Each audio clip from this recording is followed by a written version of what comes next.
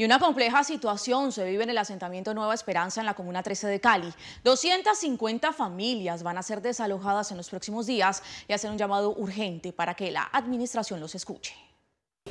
Janet López es una mujer de 50 años de edad. Llegó al asentamiento hace más de un año. Sin embargo, por una enfermedad que le impide el movimiento de su cuerpo, no puede trabajar. Su hijo es el único apoyo para conseguir el mínimo diario.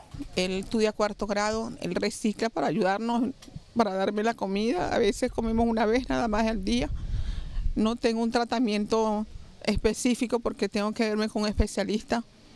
Y bueno, de verdad ahorita estamos aquí orando para que no, no, no nos desalojen, porque de verdad, ¿dónde, ¿a dónde iríamos nosotros si no tenemos dónde, dónde ir? Mientras su hijo estudia en la tarde, su sobrina y la comunidad le ayudan para sobrevivir. Afirma que no sabe qué haría si no tuviera esta ayuda. Jorge González es víctima del conflicto armado. Llegó desplazado del Bajo Calima hace 18 años al asentamiento en busca de oportunidades. Él pertenece a las 420 familias que fueron censadas por el Plan Jarillón hace 7 años. Sin embargo, su familia, junto con otras 19, quedaron en el limbo. Fueron las únicas que no desalojaron.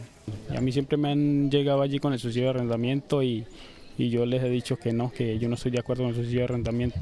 Como un engaño que le están haciendo a las personas, porque más de unas personas eh, o familias eh, les han dado ese subsidio de arrendamiento por menos tres meses y los, el resto del tiempo no se lo han cumplido.